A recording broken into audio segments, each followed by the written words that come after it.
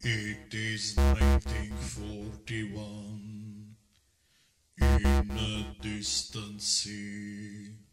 Something's gonna happen that will change the history. Islands of the rising sun.